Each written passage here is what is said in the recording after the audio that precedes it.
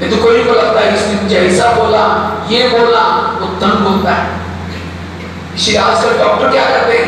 कड़वी चीज़ें खाओ तो आपकी हेल्थ अच्छी बनेगी करेले खाओ, करुण के पत्ते खाओ, मेथी के लड्डू खाओ, हेल्थ क्या हो जाएगी? वास्तव में करेले मतलब वो सब्ज़ी की करेले की बात नहीं। जीवन में कोई गाली दे, कोई अपमान करे, उन बातों को डाइजेस्ट करो। ये असली करेले। वो सब्ज़ी वाली करेले की बात नहीं। और जो इसी बातों को डाइजेस्ट करता है, वो सदा खुश रहता है। कुछ भी समस्या है, कुछ भी हो जाए तो भी क्या करता है?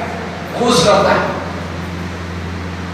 इसलिए खुश रहने के लिए डबल लाइफ रहने के लिए पॉजिटिव ड्रामा को पसंद करना। अगर कोई भी माँ बच्चों को थप्पड़ मारते तो बच्चा कहाँ जाता है? कहाँ जाता है? बाप के पास। और क्या बोलता है? मम्मी ने मुझे थप्पड़ मारी। इतना ही बोलता ना? ये थोड़ी बोलता, मम्मी ने मुझे थप्पड़ मारी, इस मम्मी को बाज़ार में बेच करके दूसरे लेके बोलता है, लेकिन हमें ड्रामा मार थप्पड़ मारते कोई विघ्न आता है हम कहाँ जाते हैं?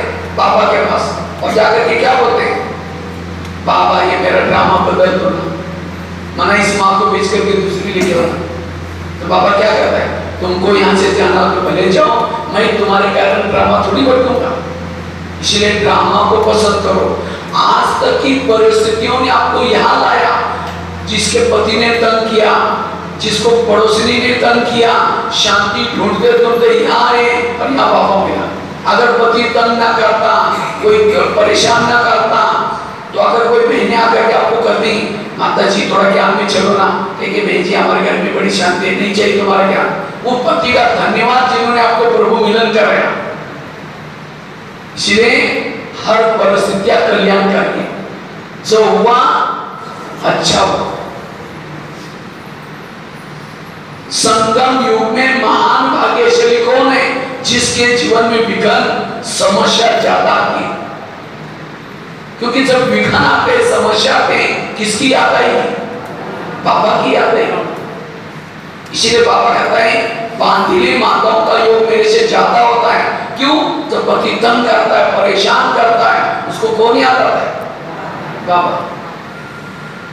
और जितना बाबा याद है, उसका पद ऊँचा है। और जिन माताओं को पति तंग नहीं करता, बहुत प्यार करता है, उनका योग किसे लगा है पति से। और जिसका योग पति से लगा है, उसका पद कुछ भी नहीं होगा। तो पति तंग करने वाला चाहिए प्यार करने वाला चाहिए